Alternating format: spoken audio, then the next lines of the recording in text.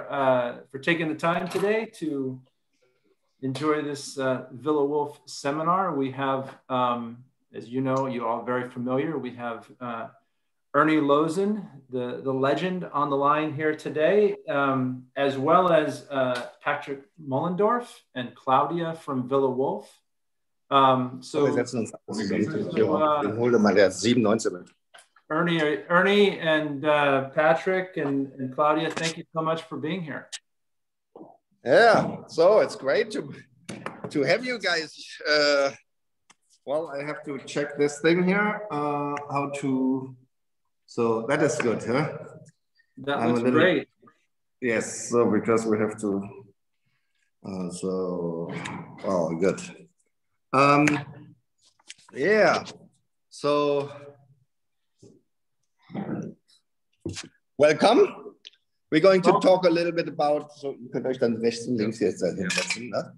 Um, we're going to talk a little bit about um, Villa Wolf, our other estate, which we own here in Germany. And I just try to get the other guys in here into the picture. Yeah. Uh, yes.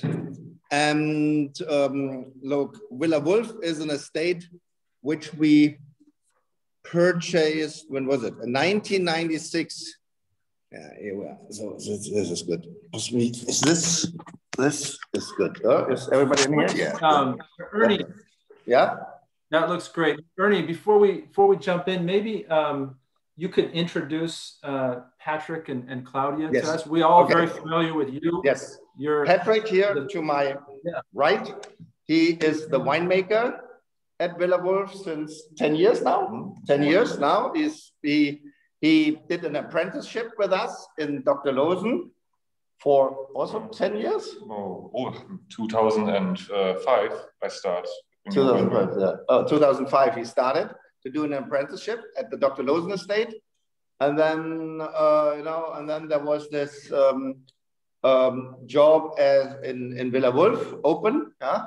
And so, and then he took over the position as winemaker, and he's basically the, the manager and winemaker of the Villa Wolf estate. And Claudia is his girlfriend. She is from Sardinia. She uh, she studied enology uh, too. Um, 2009. Uh, uh, Und um, hast du auch uh, Weinbau studiert oder was?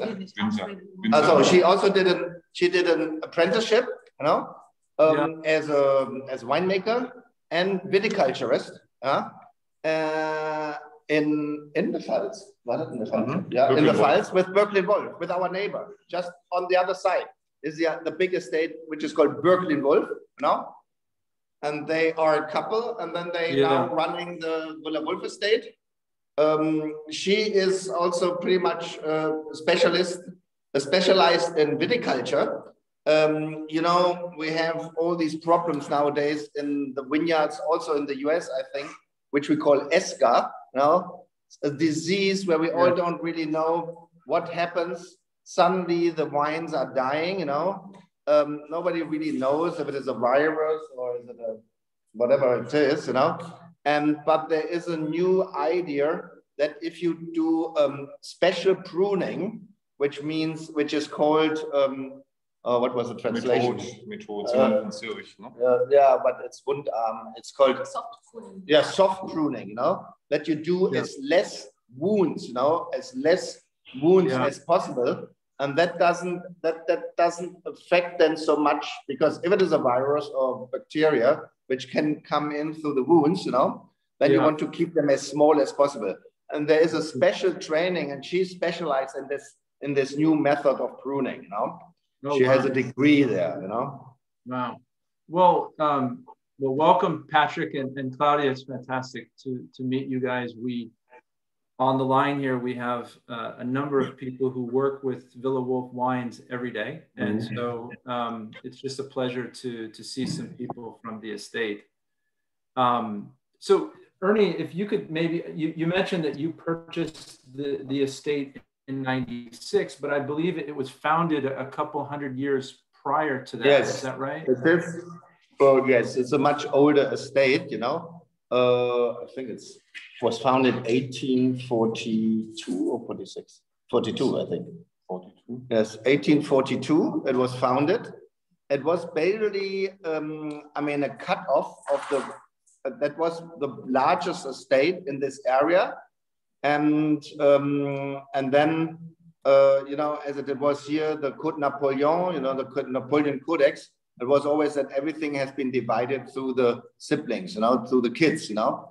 And that was what happened is that the original Villa Wolf estate, Johann Ludwig Wolf estate, was, was divided, you know, um, because one daughter married the Dr. Bürklin, you know, and so the, um, the half of the estate, you know, had been going to the Dr. Bürklin Wolf estate, you know, and then the original estate, basically the father of Johann Ludwig Wolf gave everything to his daughter, and he had always a dream to build um, his own estate, you know, in the style, in the northern Italian, northern, northern Italian Palladio style, you know. So he was a very rich guy. He sent his architect on his costs for two years to northern Italy to study the architecture, the North Italian Palladio style architecture. So he came back two years later and built him this extremely fancy Italian style villa, you know, Villa Wolf, you know. And so that, that was built 1842, you know. Wow. But historically, the estate uh, is much older because the original estate had been going to the daughter, which is now called, this estate is now called Dr. Bürklin Wolf, you know. Got it. Um, and, you know, uh, as you know, I think, Ernie, we, we, we work with producers in the Rheingau and in many in the Mosel. We work with uh, with uh, uh, Rheinhessen. Um, yes. Villa Wolf is the only producer that we work with from the Pfalz. Um, yes. And it's it's a really unique, I think, region within uh, Germany compared to the other ones. Well, yeah, the Pfalz is, you know, it's um, it's more southern than the Mosel. It's on the Rhine River. It's just on the border of Alsace, you know. So yeah. mainly from us to the Alsatian border is only, I don't know, uh, 60 kilometers? So, yeah, so 30 miles, you know, only, you know, to the border of Alsace. And here you see the old map of, of, of the, the map of Germany. You see um, the Pfalz, you know, yes. Uh, it's just the border to France, you know. Um, and south of the Pfalz, there is Alsace. And uh, so there's a lot of same culture there, you know, architecture is pretty much the same, food is the same, and the grape varieties are the same, you know. You know, Alsace has also Riesling, Pinot Gris, Gewürztraminer, Pinot Blanc, um, Pinot Noir, um, and that is exactly the same grape varieties you find on the German side of the of the of of of, of, of Alsace. If you just go north, then you come into the Pfalz. South is Alsace, the extension of the Alsace is the Pfalz, you know, the Palatinate is called, you know. It is a quite warm area. It's also called the Tuscany of Germany, you know, because it has a Mediterranean climate there. You find fig trees, almond trees, you know. Yeah, and so Mediterranean climate, you know, very beautiful, very beautiful area. And so beside of Riesling, there's a huge tradition for for the Pinot varietals like Pinot Blanc, Pinot Gris, Pinot Noir, you know, Pinot, you know. Um, so uh, Silvaner was very strong as an historic grape variety in the old days, but nobody is doing Silvaner anymore. But in the old days, there was a lot of Silvaner. Um, uh, there was also these kind of aromatic grape varieties like the and Muskateller, you know. It's also not as popular anymore as it used to be in the old days. Um, now you find also a lot of French grape varieties like Sauvignon Blanc, you know, and with the reds, Cabernet Sauvignon, Merlot, um, even Syrah you find there nowadays, you know, because it's a warm climate. You get everything right, you know. And, and Ernie, when you you were comparing it a little bit to Alsace, you know, when we talk mm-hmm. about Alsace, the Vosges mountains are a really you know important geographical uh, fixture of Alsace, and they talk about a rain shadow, right, where Alsace actually ends up being one of the driest places. Um, yes, is it there is, a? It's a little bit similar. The extension yeah. of the Vosges Mountains, you know, the Vosges yeah. Mountains going into Germany, you know, but there they are called the Haardt mountains, no? But yeah. the Haardt mountains, basically the Haardt mountains are the tail of the Vosges mountains, you know, which is going into Germany. So the Haardt mountains are by far not as high anymore as yeah. the Vosges mountains. Although the Vosges mountains are all the way going up to 1,000 meter fast, no? Yeah, up to meter, nearly up to 3,000 feet, you know. Um, but the, the Haardt mountains are not as high. They are rather 2,000 feet maximum. Yeah. No? So this is basically the tail of the Vosges Mountains. So we are also, because the weather is all coming from the west, we're also in the rain shadow of the yeah. Haardt mountains, you know. But I, I, would assume that we get a little bit more rain because yeah. because the, the, the Vosges Mountains are higher as the Haardt mountains, you know. So we get a little bit more rain as the as Alsace, you know. But right. it is an issue sometimes. You know, rain can be an issue. I see. You know, I also see that the Rhine River um, is is basically it, it, flows up and it's it's the border between um, Baden and the Pfalz. Yes. So the Rhine River is the natural border. I mean, uh, well, no, it's not the. Yeah, it's the. It, yeah, it's the. It's it's exactly. It's the border between Baden and Pfalz, but also the border from Baden to Alsace, you know, to France. Yeah. Yes, that's true. But um, but the Pfalz Palatinate is the largest, the biggest wine growing area, I think, of Germany with 50,000 acres, you know. And again, the major grape varieties there is Riesling, Pinot Gris, Pinot Blanc, and Pinot Noir, you know. And there's a bit of uh, there's a I think uh, in the red side is Dornfelder. Uh, uh, yes, Dornfelder is still a big issue in Germany, and Rheinhessen as in the Pfalz. You know, it is this German grape variety which makes big, bolded, deep colored wines. You know, uh, yeah. but very charming. You know, not too much tannin. They're big and red. You know, and deep in color, but it has not the tannin structure like Cabernet or so. You know it's more soft on the tannin structure. So makes the young the young Dornfelder is very pleasant, you know, very creamy, very very nice to drink, you know, very charming, you know. Doesn't doesn't need be like Cabernet uh, first a few years that the tannin structure comes comes mellows out, you know. So it was a very, very popular grape variety 10, 15 years ago, 15 years ago, 20 years ago but it lost a little bit popularity. The people are going away from, from Dornfelder. So they grow more now, again, more Pinot Noir again. And, but Pinot Noir is very high end. And so, and so all, a lot of French grape varieties, which have had no traditions in the old days, Cabernet, Merlot, these kind of things, you know. But, yeah. but for the, you know, say it that way, Dornfelder is a very solid here um, cash and carry supermarket wine. You know, it is very popular with you know it's not too expensive, quite quite cheap. You know, high yield. It's it's popular with say with the average consumer. You know, like you know you could com- you could compare it with like this this um, white Zinfandel in the old days, which was very popular in the U.S. with not with a you know with average consumers. You know, Sure. Um, this this is on this is the Dornfelder here on the German side. Cheap, you know, low end, but you make solid wines. They are yeah. yeah. Nice. And so, so Ernie, you talked a little bit about um, the Pfalz in general as far as its its mm. terroir. Is there a, specifically where Villa Wolf is? Can you talk a little bit about um, maybe the specific terroir of where Villa Wolf is found in Villa Well, I mean, you know, the specific terroir of, of it, is, it is the old riverbed, you know? I yeah. mean, it was a gigantic river it, historically, I mean, millions of years ago, you know, because yeah. the whole river had been going from the Vosges Mountains all the way on the other side to the Black, uh, Black Forest Mountains, you know? So, I mean, a river at least something like uh, 60, 70 miles wide, you know?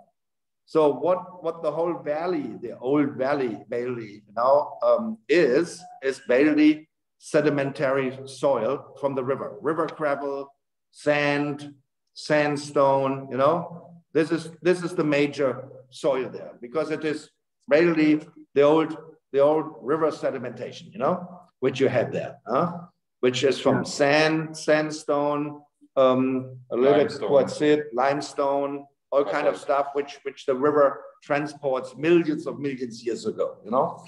And so this is the major major soil. You have here spots here where you have more limestone, which is more in the south, higher elevation, you know, because that's not sedimentary, that is more towards the mountains, you know. Then you have also towards the mountains, you have some uh, vineyards which have basalt, you know, but the major vineyards are in the old riverbed, you know, it is not steep, it is the flat, the flat soil, you know, it's not, not you know, and that is old river, river, riverbed soil, you know. Here you see, this is, as soon you come a little more into the, into the mountainside, then it is a little bit steeper. And here you have then more, I mean, as I said, um, limestone, uh, um, basalt, these kind of things, you know? But if you go towards the river, where the majority of the vineyards are, you know, this is basically, you know, old riverbed soil, you know? So warm soils because it's sandy. Sandy soils are sand is very drained soils, warm soil, you know. Um, so near sandstone, sure, where the you know, I mean, where the sand comes from, you know. And so this is more or less the type of soil, you know. You know, a little bit uh, sedimentary uh, soil, which which came in, or like in Oregon, which came with the Missoula flood, you know. I see.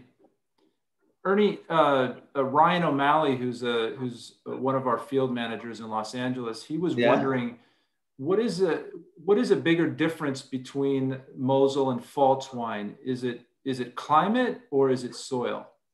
Oh, completely different. You know, I mean, first the river, the, the, the valley is much more narrow. You know, the Mosel. I'm not sure if if if, if um, Jeff, do, do you have possibly a picture of the Mosel? You know, um, the valley, the, the, the, the, the, the, the, the Rhine Valley is much more broader, much more wider. As you see, you don't have steep slopes. If it goes towards the hillsides, you know, it is more gentle slopes, you know, not steep, because it's a much wider valley, you know, a huge valley, you know. So yeah. the soil is totally different. And the Mosel, it's very narrow valley, and here we have all yeah. slate soil, you know, very stony slate stone soils, you know. Here in the in the in the Rhine River, we have a much broader valley, not steep at all, you know, much more gentle. If it comes to to some some slopes, uh, very gentle slopes, you know. And you have this kind of sand, sandstone, you know, this kind of soil, which we don't have in the Mosel at all, you know because the Mosel is steep. You, yeah, well, that is now. Uh, you have a picture of Bernkastel where you see, um, uh, then you see more the valley. You know, um, it's steeper um, and much steeper, much more narrow, and the soil is completely different.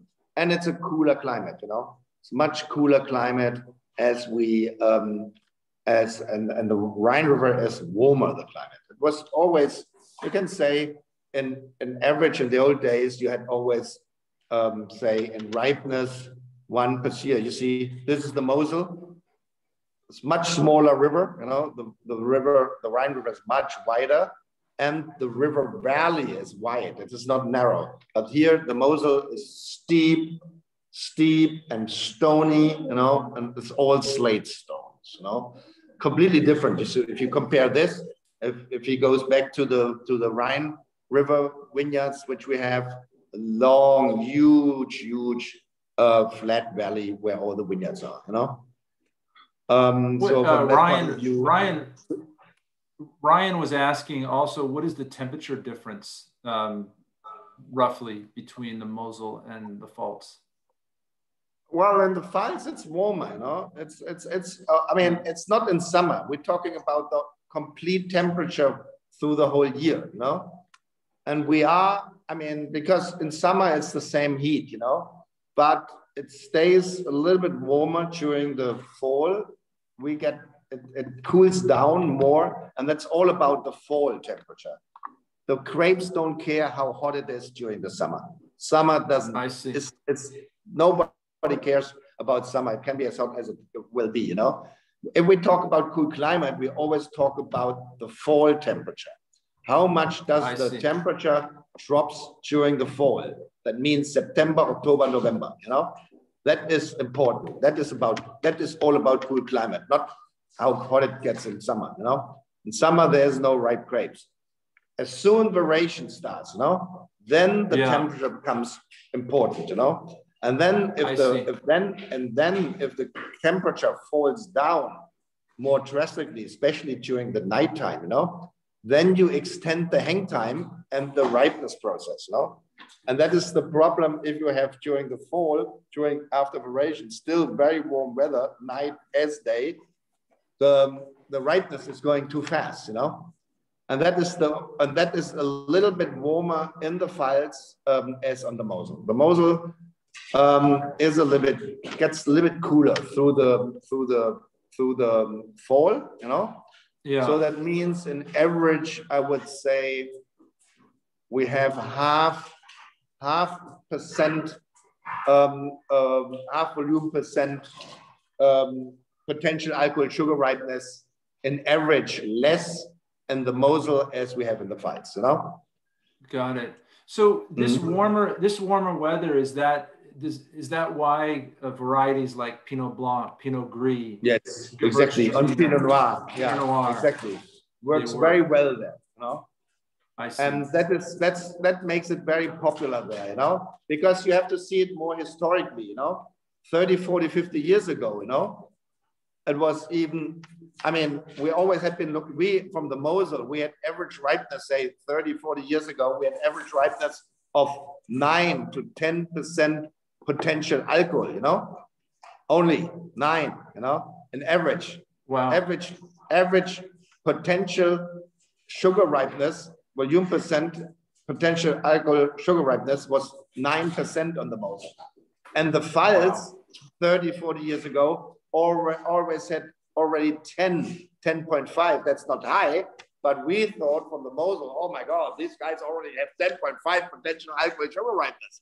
God, these guys, yeah. bless them, you know? And so yeah. now with global warming, we are rather in the Pfalz with 12, 12.5 on the Mosel, say with 11, you know, 10.5, 11, you know? So perfect ripeness for dry wine, you know, but still not overripe. That is very important, you know, still not overripe, you know? We got some, yeah, 12 to 12.5. This is, this is pretty much um, average now in the Pfalz. I would say that's perfect for white wine, 12 to 12.5 potential alcohol sugar ripeness, no? Yeah, uh, yeah, I mean, Pinot Noir think... is a little bit higher, 13, 13, percent you know, perfect for Pinot Noir, but not 14, 15 or 16, you know? So perfect ripeness with long hang time, but not too high. That makes the Pfalz so attractive for Pinot Gris, Pinot Blanc, and Pinot Noir. Got it, got it. Yeah, I think that Alsace in the south actually suffers from some very high alcohol levels in certain years. But you know, but there in Alsace, there's also one other problem because they don't, we in Germany, we believe for dry wines, they're all dry, the Pinot Blanc, Pinot Gris, Pinot Blanc, uh, Pinot Noir, I mean, sure, they are produced in the dry style. We don't allow botrytis with our white wines, with our dry white wines. And Alsace, why they have 14.5, 15% Gewürztraminer up to 16% potential alcohol, you know, um, um, uh, sugar ripeness, is because they leave all the botrytis in there. And the botrytis are the shriveled grapes. They, yeah. they, they hike up the alcohol, you know? And yeah. we in Germany, we believe that, that, that, that dry wines should come from 100% healthy grapes. And if it is, if you pick only 100% healthy grapes, the sugar ripeness is, with the white is not going more than 12 to 12.5, you know? I if see. you leave the botrytis in there, then no wonder that a lot of Pinot Gris in Alsace is going up to 15 or 14 half, you know? Because the botrytis yeah. hikes up the alcohol. I see. Not That's not from the healthy grapes. But Got we it. we don't allow, we take all the botrytis out and, you know, drop it on the floor, you know? We don't I want see. to have botrytis with our, um, with our dry wines, you know? And that's the reason um, that, that it is perfect ripeness, 100% healthy fruit, perfect, you know. And, and the Pinot Noir, you know, the same, 100% healthy fruit. You know, we don't want to have. I mean, sure. I mean, botrytis destroys the color anyway. You know, you have to, you have to have 100% healthy fruit with Pinot Noir. Otherwise, if you have a little bit of botrytis, botrytis destroys the color because the color comes from the skin. You know. Ernie, can you talk a little bit about uh, Villa Wolf's approach to viticulture? Um,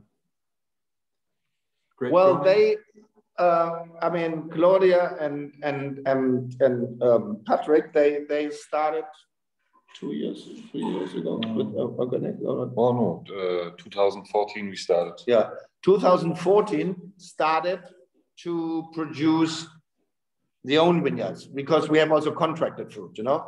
But with all our own vineyards, yeah. you know, we are they they started 2014 to grow organically and applied two years ago for certification. Uh, we are now in the progress of um, getting certified.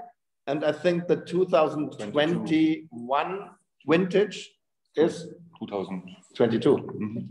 Yeah, mm -hmm. 2022 because you need three years for, for certification. Um, 2022 will be then the first certified certified vineyard uh, certified wow. vintage, you know? Right, right. Wow, impressive. So you're, so, uh, and so are all the estate vineyards, they're all going to be converted to? Yes, uh, because that is the law, that is the law here. You are not allowed to do some vineyards uh, um, organically and some vineyards you don't do organically. You can get only certification if you produce all your own vineyards, you know? I mean, I can't talk about contracted yeah. fruit, you know, uh, contract fruit is different, you know. But um, the own vineyards, uh, if you want to be get certified, you have to convert the whole estate, all the vineyards to to to to organic, you know. And, and it is and, what is the eco step? What, what is it called now? Um, it's it's the EU. It's the EU. It's the, leaf, the, uh, the yeah, green yeah, leaf. Yeah, the, the green label. leaf on the label. It's the EU um, EU certification. You know. I see. And is there, um, with regards to, to viticulture and grape growing, is there any kind of philosophy that you have with regards to, you know, planting density or your approach to to whatever, you know, canopy management or or yields? What what, are, what is your kind of your thinking uh, when it comes to grape growing? Well, with the Pinot Noir, with our own vineyard, you know, we have a very high-end monopole vineyard, which is uh, which is on limestone. The vineyard is called Wachenheimer Belz, you know. Here it is uh, two, two and a half acres, you know, or a little bit more, three acres. Um, monopole vineyard is called Wachenheimer Belz. Here we planted only Pinot Noir we planted a lot of different clones, you know, kind of, you know, mix, mixed field, you know, um, a lot of French clones, millerandage clones, you know, uh, ones, you know, which produce a lot of hen and chicks, you know, the little berries, yeah. you know. Yeah. Um, so, and what he introduced to the to the Pinot Noir vineyard, um, to our single vineyard monopole, he introduced this kind of um, Leroy method, you know, she's she's not not hedging. You take all the shoots, you know, you take them together, and then yeah. you roll them over yeah. over the head, you know. So no I've hedging, seen, you know. Yeah, I've uh, seen that. It's an interesting in, interesting method, you know. Yeah, I've seen that in Vin Romanée before. It's, yes, it's, it's quite I think remarkable. One of the, and they these both are one of the first who introduced this method in in in in, in the Pfalz, you know. Yeah. And his experience, he said, you get brings a lot of acidity. He uh, brings a little more acidity, he says. Um, the ripeness is a little bit uh, slowlier, so the, the, the, um, uh, becomes not the complete power, mm. uh, the engine from the soil. So yeah. yeah, and we don't have the cuts you know it is a shock is it right uh, for the for the plants when you cut in the summer when we have yeah.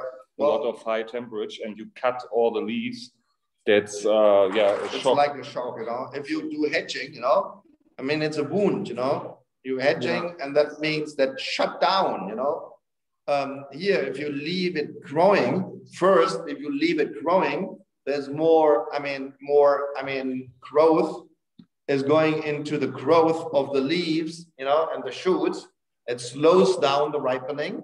So you have longer hang time. And you know, with longer hang time, you have always more aromatic wine. But no and, more sugar. And, that is important. and, so and you slow down the sugar accumulation. Because especially with warmer vintages, and I think this is the idea also of Madame Leroy, because if you go conventional in Burgundy, they also hit up now up to 14.5%, you know? And I yeah. think what she want to do is she want to slow down the ripeness and get lesser ripeness. Yeah. And then if it get warmer, this is a viticulture which where you can slow down the ripeness and reduce the ripeness back to 13.5 instead of 14.5. No? With longer hang time, which gives more aromatics, because as more, we always say as longer the hang time, as more aroma ripeness, you know? But yeah problem is also more sugar ripeness, you know?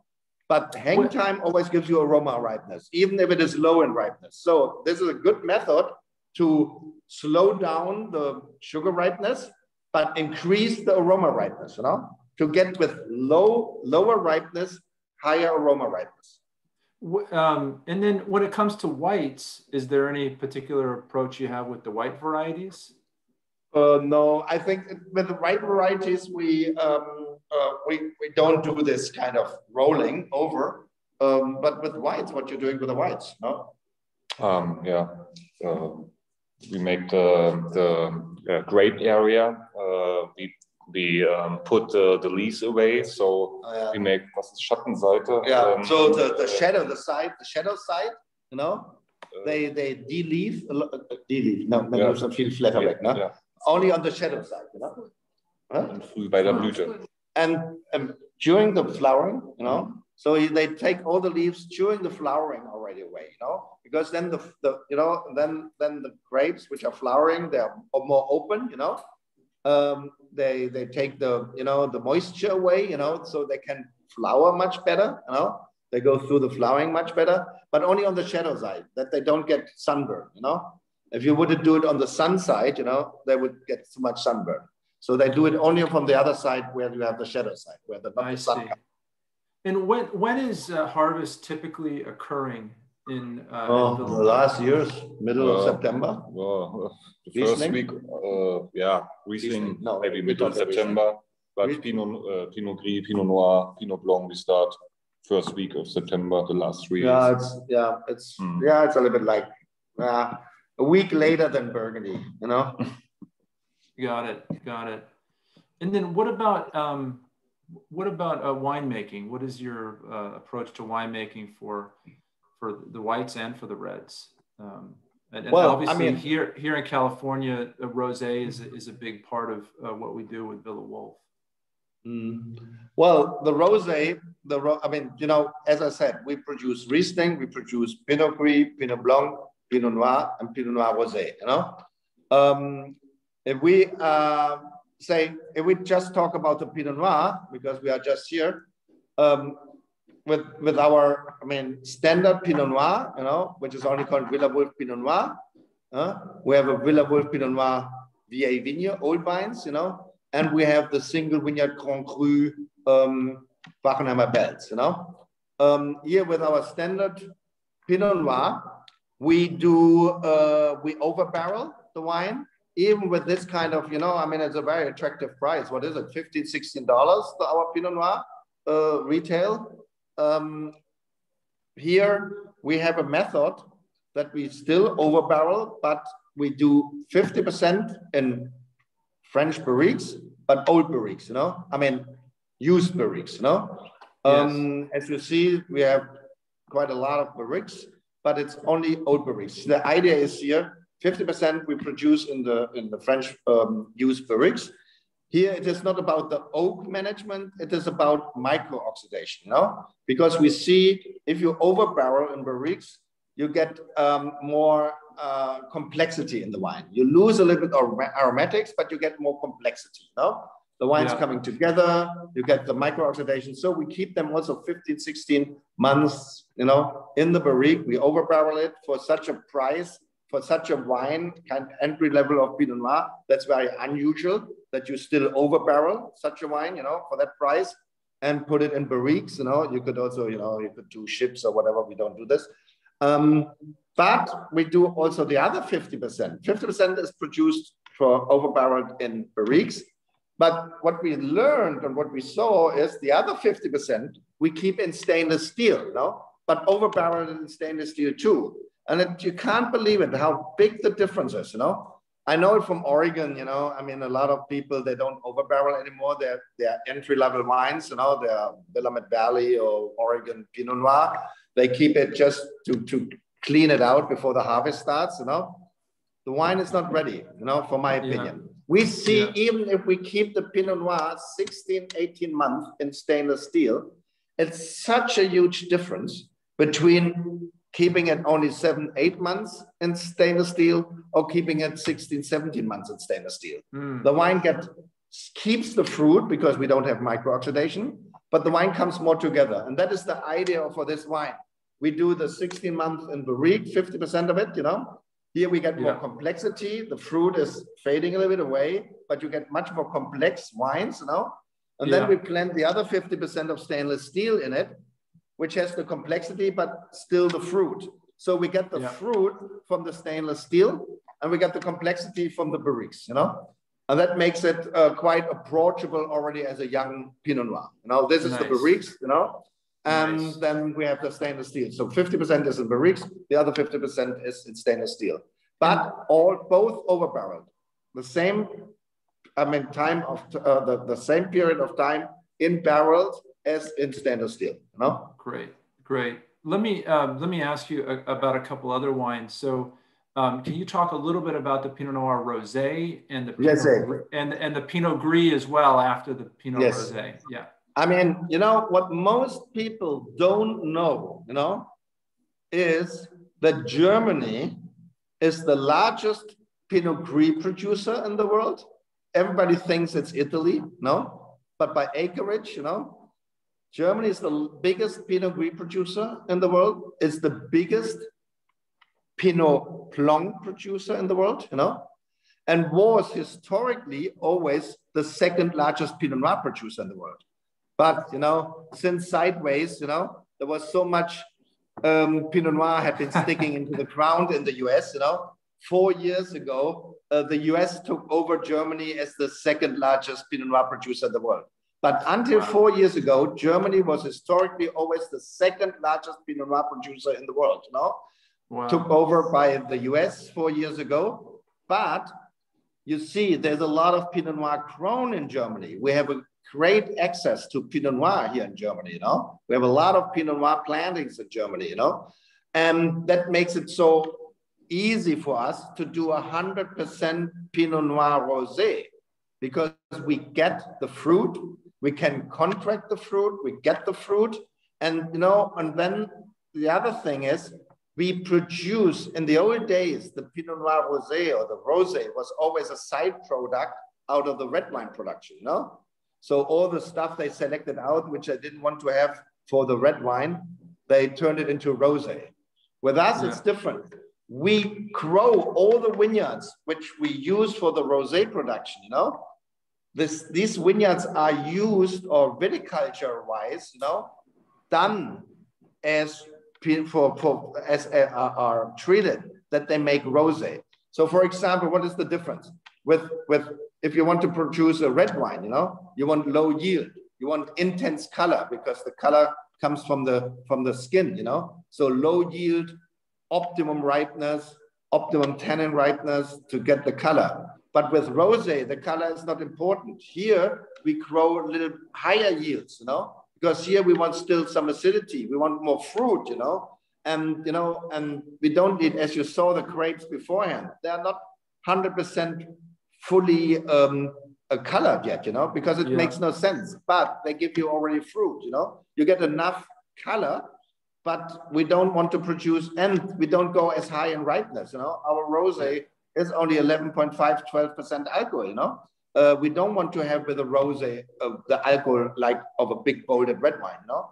Because right. a rosé is a summer drinking wine. We want to have it lighter and more refreshing. We don't do malolactic fermentation here, you know. So here we have to do more shading, you know. With the Pinot Noir, we do much more exposure to the sun, you know, to get it fully ripe. And so the, the treatment for Pinot Noir, you know, making a rosé in the vineyard is different as how you treat the Pinot Noir for making a red wine, you know. So Ernie, that point Ernie, just really quick. So, uh, uh, what are you looking for in the glass, right? So, with with well, your rosé. in the glass for the rosé, we look. I mean, we look for kind of a salmon color, you know. So yeah. we don't do. I mean, in Germany, especially with Pinot Noir rosé, we don't have the tradition in France. You know, if you go to southern France, you know, so you know, the color of of some of the roses are much deeper, you know. But we look for this kind of what we call salmon, salmon color, you know you know, this there's, because it's a summer drinking wine, we like it more for the lighter, you know, uh, color, you know. We look for an, also a crisp acidity, especially yeah. with the rosé from Pinot Noir. What's very typical is the strawberry aroma, you know. Right. And that is anyway quite unusual, you know. Look, most people, if they grow Pinot Noir, they want to make red wines out of it, you know, because they get so much more money. So you right. don't find really so much 100% Pinot Noir rosé because most people in the world who grow Pinot Noir, it's such a difficult grape variety, they want to make red wine because they get three times as much money for the. Pinot Noir red as you get for the Pinot Noir rosé. But we have so good access here in Germany for Pinot Noir that we can afford to make Pinot Noir rosé for, as you know, very attractive price. You know, I mean, what is it? Twelve dollars or what? How are you selling it? I mean, no, in the yeah, retail. It, it, it, can definitely get down in retail to yeah, yeah. eleven ninety nine, ten ninety nine. Yes, and this is and this is and this is hundred percent Pinot Noir rosé, hundred percent Pinot Noir rosé. It's quite rare to have only a, a Pinot Noir rosé. You, there's a you know there's a boom of rosé, you know, but right, you know, hundred percent Pinot Noir rosé is rather rare, you know. So you're so in the glass, you're looking for something that's bright, fresh, strawberry aromas, yes. salmon yes. color. And then when you talk about the wine, ma- when you talk about the winemaking, um, it's what is the from the time that you you you know you harvest the grapes to the wa- time the wine is finished. What's the period of time there? That's yeah, it's, uh, it's it's basically it's sometimes it's that, that is the only tricky part. How long to macerate macerate this on the skin to get it right in color, you know? And that is often every year different. Huh? Mm. That is sometimes you need six hours, oh, 12 hours, 12 hours you know, overnight, you know, keep yeah. it macerate overnight to get the color. Um, so from that point of view, maceration can be, it depends a little bit on the vintage, between six and 12 hours, you know, on the skin. And then we immediately press it. We don't want to do malolactic fermentation. We want the freshness with this wine, you know. Uh, we don't do malo with, with our rosé, no malo, you know. So yeah. from that point of view, six to 12 hours maceration on the skin to get the color. Then uh, it is not destemmed though. No, not destemmed, no destemming, no. Basically, it is then like, like, like making white wine, you know? Yeah, yeah. It is, the only difference is that six to 12 hours maceration to get the, the, the, the, the, the so the, the color. And then yeah. no malolactic fermentation. We fermented in stainless steel, cold temperature, what? Uh, 13 degrees. 13 degrees Celsius. Really cold.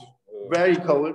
Very cold um, fermentation. But, but that brings the, the freshness. But that brings the freshness and, and the, the, fruit, CO2, you know, and, and the, CO2. And, a little bit of spritziness, you know.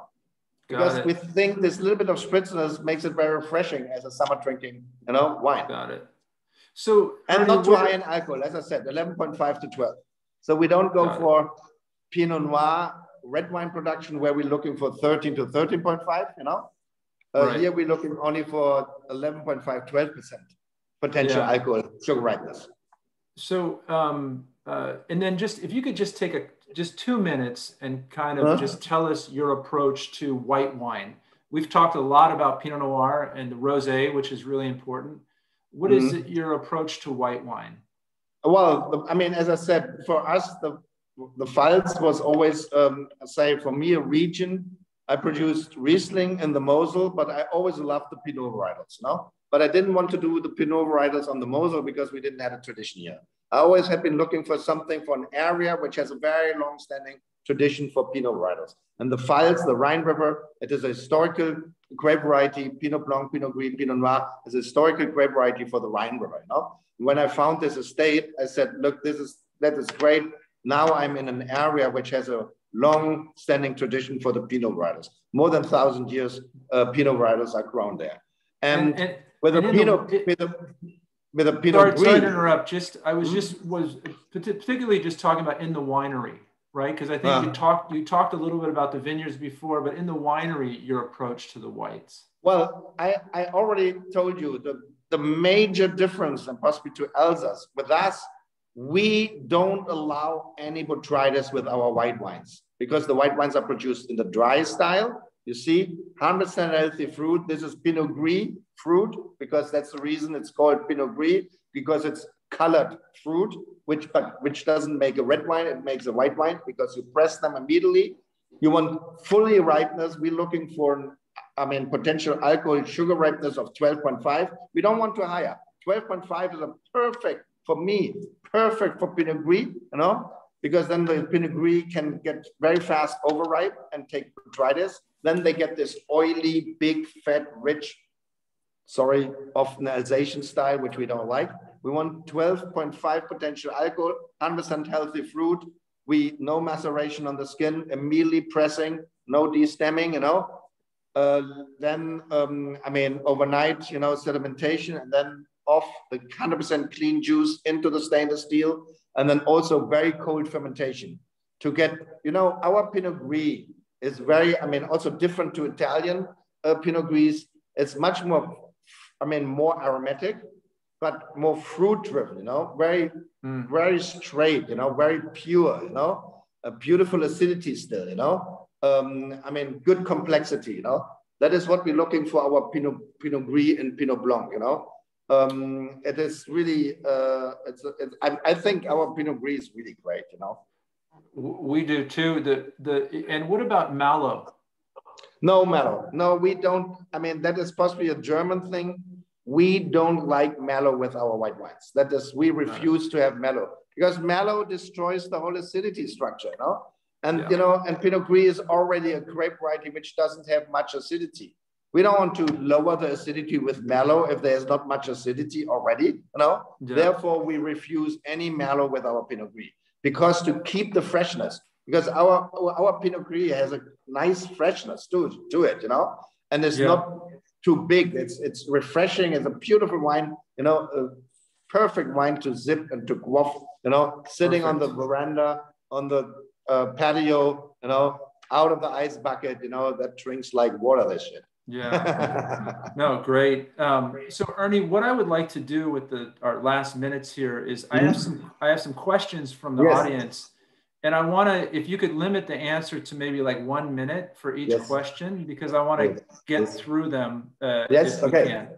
So the first question I have is from Germaine uh, Esquivel, mm-hmm.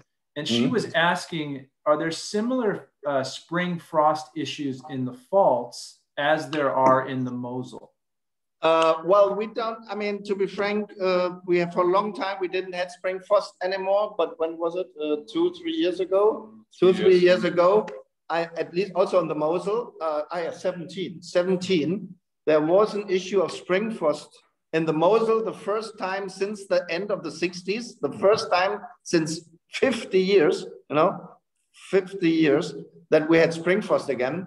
And the Pfalz, it is more the lower elevated vineyards if it comes down to the Rhine, even because the cold falls from up to down, you know. So if the if the vineyards in a in a kind of a deep sink, you know, then you can have some frost issues. But we don't have this problem as much as you have in Chablis or now in Burgundy. They are, oh my God, they have so many problems now in the last years.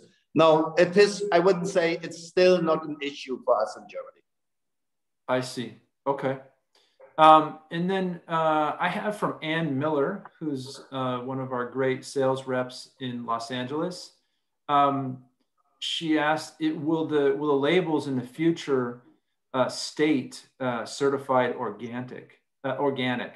Um, the estate wines, yeah. The estate yes. wines, yes. The estate it wines, will. yes. They will be, I think, we're changing not the label, but the color of the label. It might be in the future as soon as it is certified. We now we have this white label, you know, but the certified yeah.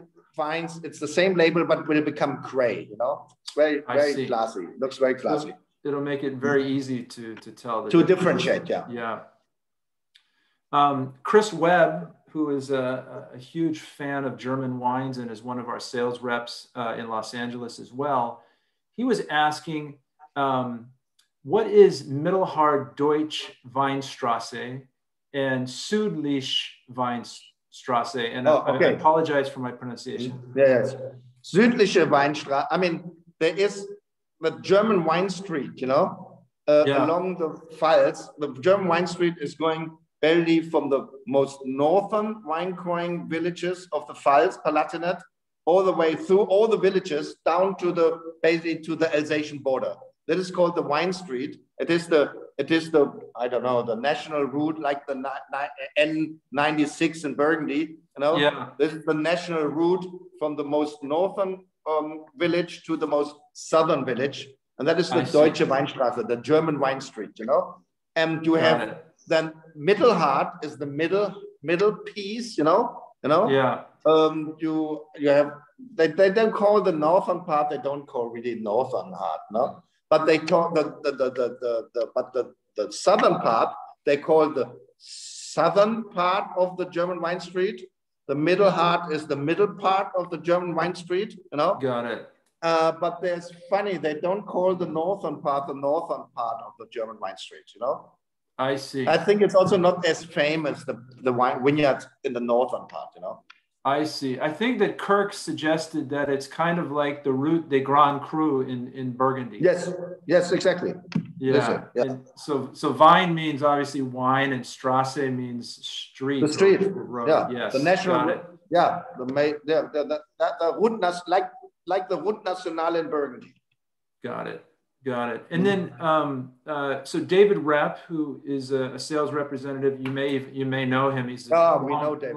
yeah, yeah. He's a big, huge uh, German wine fan. Yes. Um, he asked a question: Why do you no longer refer to this the estate as J.L. Wolf?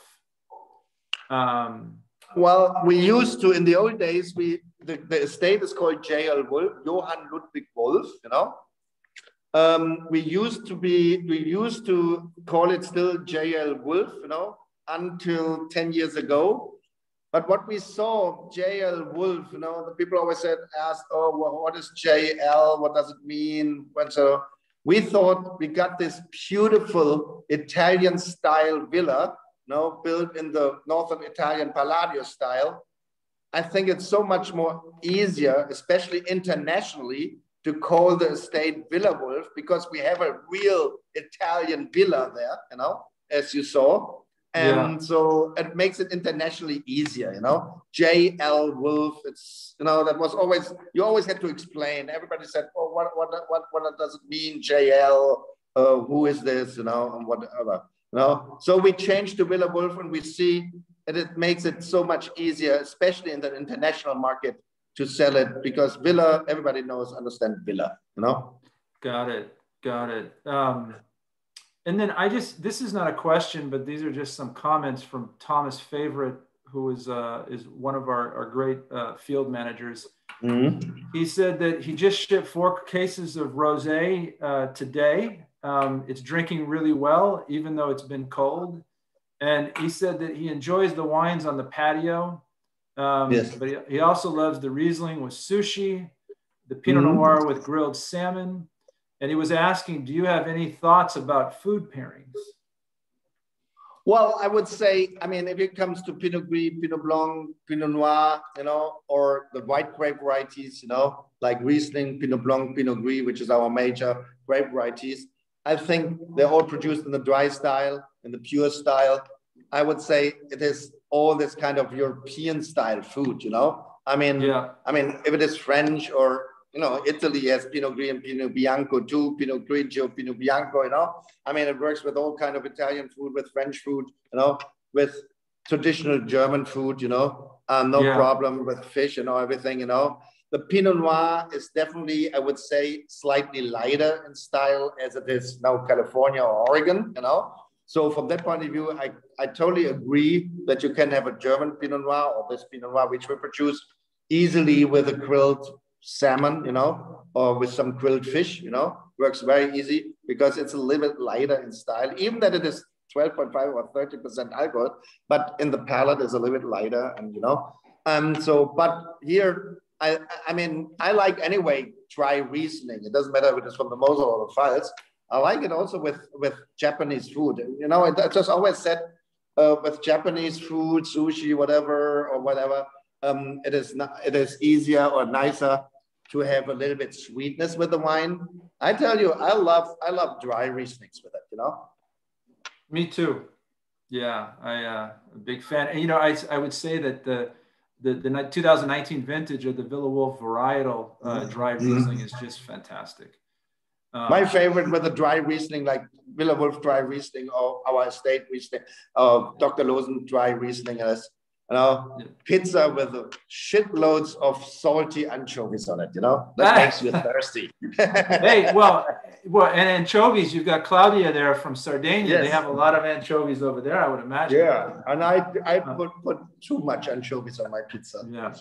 well, um, uh, Patrick and, and Ernie and Claudia, thank you so much for mm. taking the time today. I think we're, yes. just about out of time. I don't know if there's any final words that, that you want to say, but um, we really appreciate you uh, choosing Chambers and Chambers in California to represent um, Villa Wolf. And mm-hmm. um, uh, we're just really excited to work with the wines, and we think they're probably one of the best values in our in our whole book.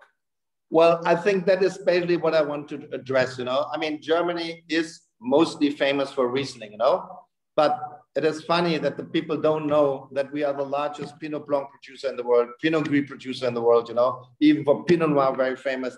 It stayed always in Germany, but Germany offers, especially with these grape varieties, I mean, great value, you know, um, and price, you know, great quality for great value and price. I mean, I tell you, this is, I mean, we all know there are great Pinot Grigios in Italy, you know, but if you come to the really I mean, great Pinot Grigios, if you German or whatever, you know, if you go to Friaul, you know, you pay three times as much, you know. Uh, so yeah. price quality wise, I think there's nothing, you know, more valuable as these kind of German Pinot Gris, Pinot Blancs, you know, well made, you know. I mean, it's it's it's a bargain, you know. We we we agree. Um, um, and again, thank you so much for. I think this was very useful for us I mm. learned a lot about the Pfalz and, and about Villa Wolf, and um, let's continue the conversation. Yeah, thanks. Okay. Thanks for inviting us to talk about it, you know? Yeah, uh, Dankeschön, yeah. grazie. Yeah. ciao, yeah. ciao. We will have we will have now some because it's Claudia's birthday, no, tomorrow morning. So I think we will open now nice vintage of her birthday. Oh, okay. birth, yeah. oh perfect. Okay. So I at least prepared some bottles. Bur oh, or, or oh, Burgundy, Bordeaux, and sure, Dr. Luz. well, okay. Thank you so much. Thank you much. Take care. Thanks. Ciao, okay. Ciao. So bye. Bye. Bye. Bye.